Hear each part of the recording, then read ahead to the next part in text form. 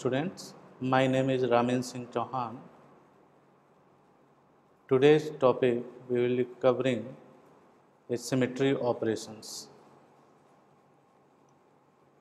Before we start, we, we must have a look at some basic concept of unit cell before understanding the symmetry operations. What is a unit cell? Unit cell is the smallest divisible unit of any material, any crystal that possesses all the symmetry and properties of the mineral. It is a small group of atoms arranged in a box with parallel sides that is repeated in three dimensions to fill space. It means that any unit cell is the smallest unit. If we repeat that unit in three dimensional space, we can create the whole structure of any crystal or mineral or any substance that is crystalline. Now, in any unit cell, there are three principal axes, namely A, B, and C, and their interaxial angles are alpha, beta, and gamma. So, here we can see that these are three axes A, B, and C. We can see along this horizontal side, this, this axis is A, along this side, this is B, and along this third dimension, the axis is C. And now we can see there are alpha, beta, and gamma. These are three angles. Alpha is angle between B and C, beta is angle between A and C, and gamma is angle between A and B. So you can imagine that if we are having any three dimensions, then how these angles are there or how, how can you find out these angles that is quite clear that from B and C the angle between B and C that is this this angle this is alpha then angle between A and C is this angle this is beta and the angle between A and B that is this angle is angle gamma. Now we will talk about the seven crystal systems. The presence of symmetry operators places constant on the geometry of the unit cell. The different constants generate the seven crystal systems.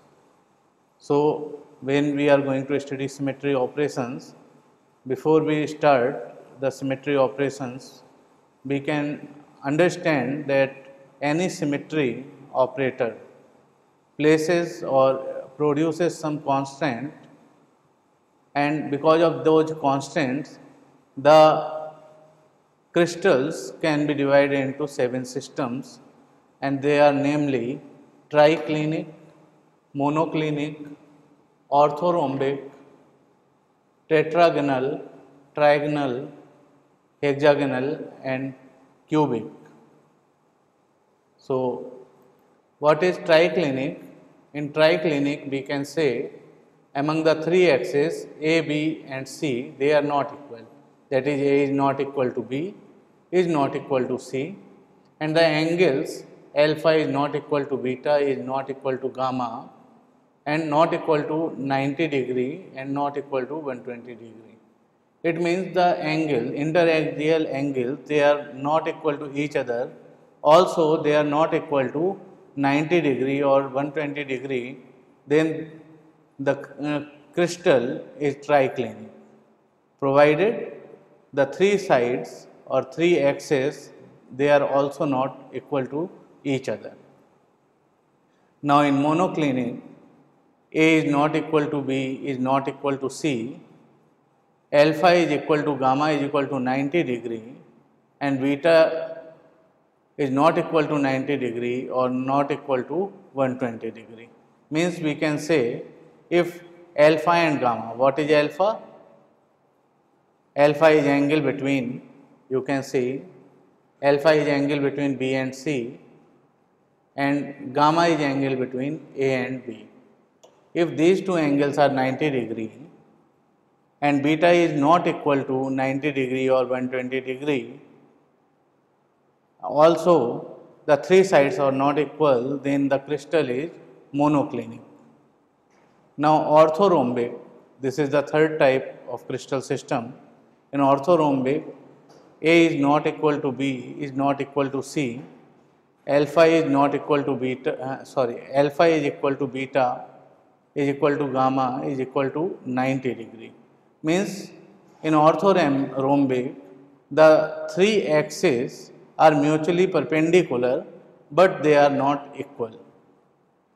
When they are mutually perpendicular, it means the angle between A, A and B, B and C and C and A are equal to 90 degree that is alpha equal to beta is equal to gamma is equal to 90 degree and the three sides or three axes A, B and C they are not equal to each other. Now the fourth system of crystals is tetragonal in which A is equal to B but not equal to C and alpha is equal to beta is equal to gamma equal to 90 degree.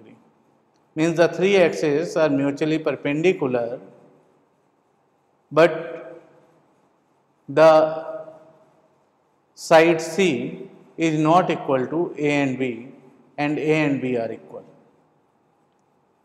Next is trigonal crystal system in which A is equal to B not equal to C and alpha is equal to beta is equal to 90 degree and gamma is equal to 120 degree. It means angle between A and B is 120 degree and alpha and beta are 90 degree and A is equal to B not equal to C. So, this type of crystal system is called trigonal system, uh, trigonal crystal system. Next comes hexagonal crystal system. In hexagonal, A is equal to B, not equal to C, alpha is equal to beta is equal to 90 degree and gamma is equal to 120 degree. So, in, in this case we can see that A is equal to B is not equal to C and alpha is equal to beta is equal to 90 degree and gamma is equal to 120 degree. These are hexagonal crystal system. Next comes cubic crystal system where A is equal to B is equal to C and alpha equal to beta is equal to gamma is equal to 90 degree. So, th this is cubic crystal system. Now, come to symmetry operation. So, what is symmetry? Before we start, we must know what is symmetry. If we are applying some operation and the shape or structure or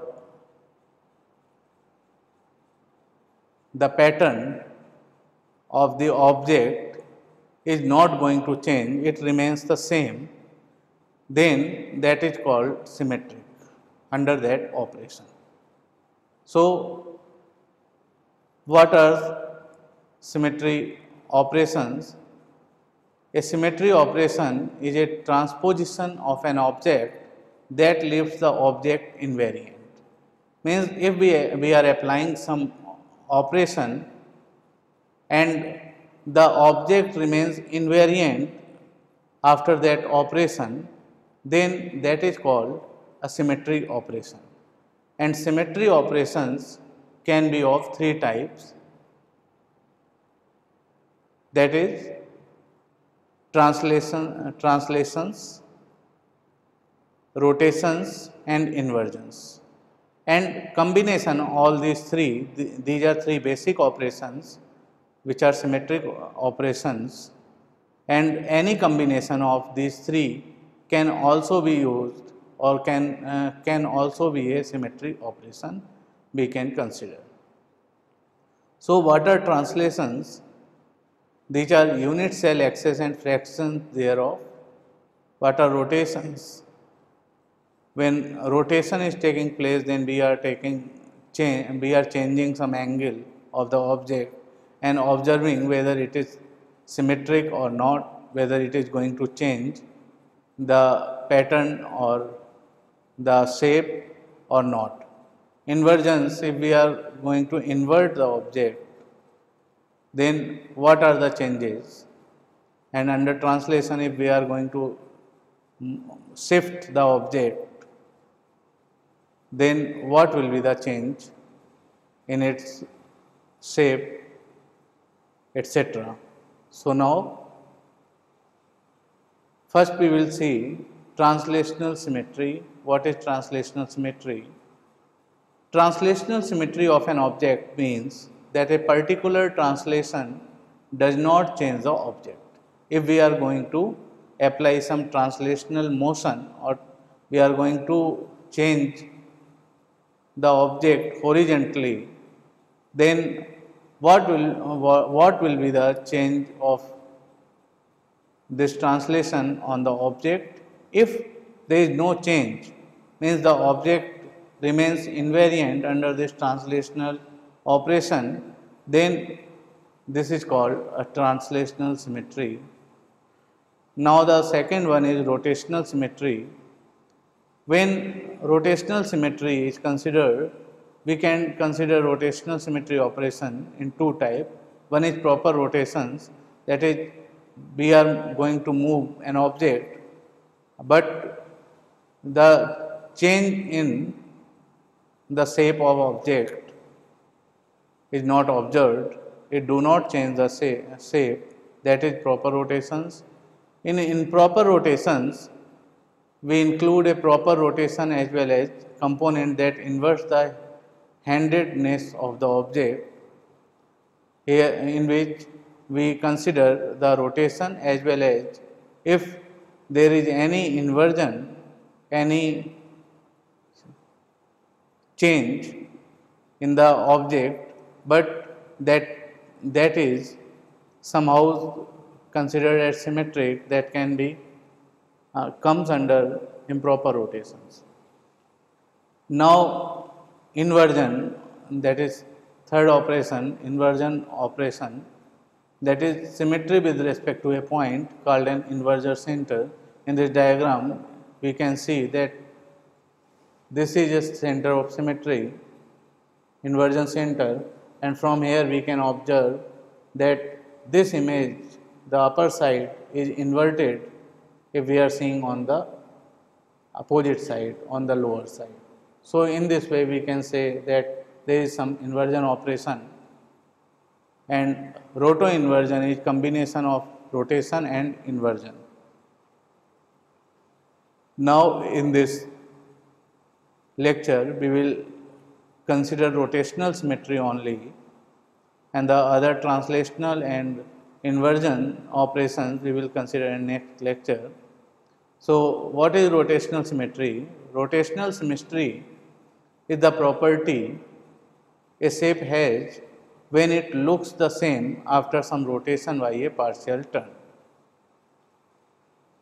Means if we are going to turn or rotate the object through some angle, through some small angle, then if the object is not going to change its shape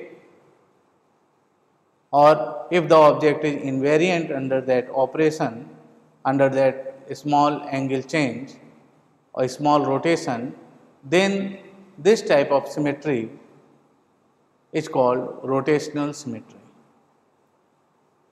And in rotational symmetry, an object's degree of rotational symmetry is considered and what is the degree of rotational symmetry for an object that is the number of distinct orientations in which it looks exactly the same for each rotation.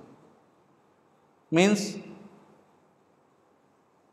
depending on number of distinct orientations or number of distinct angles or you can say number of distinct positions where it can be seen as invariant, that number is called how many times the object can be seen invariant under one complete rotation of 360 degree that, that is called the degree of rotational symmetry. Now, we can consider rotational symmetry, we can see that this is our object and if we rotate this object slightly by 90 degree, then in this object we will observe no change in this rotation of 90 degree. Again we rotate this object further by 90 degree. So, again what we will find that there is no change in the object after 180 degree of rotation. Then again we are going to change or we are going to rotate the object by 90 degree. This is the third rotation of 90 degree and again we find that object is invariant and then again we rotate this object by 90 degree and that completes one complete rotation of 360 degree and object returns to its initial position, but that is also invariant. So, what we say in 360 rotation a two dimensional crystal has repeated itself or looks identical 4 times in this particular case. Now, the rotations which we are talking they can be of different degrees of rotation and based on that we can classify them one fold rotational symmetry, two fold rotational symmetry, three fold rotational symmetry, four fold rotational symmetry and six fold rotational symmetry. So, we will take them one by one. So, one fold rotational symmetry. One fold ro rotational symmetry is for those objects if we rotate the object by one full 360 degree rotation and there, there is no point in between which can give the symmetry or which can restore its original appearance in between before 360 degree rotation that type of rotational symmetry is called one fold rotational symmetry. An object that requires rotation of a full 360 degree in order to restore it to its original appearance has no rotational symmetry since it repeats itself one time every 360 degree it is said to have a one fold axis of rotational symmetry. We can see that if we are taking these objects, if we are taking this object, then we are rotating it if we are rotating as such there is no regular pattern or no symmetric pattern is observed here and it will retain its original position only after one complete rotation of 360 degree. So, we can say this is having one fold rotational symmetry and similar is with this triangle which has different lengths of their sides and when the lengths are different then after rotating we cannot find any symmetric position in between. When we can get the symmetric position or invariant position only after one complete rotation.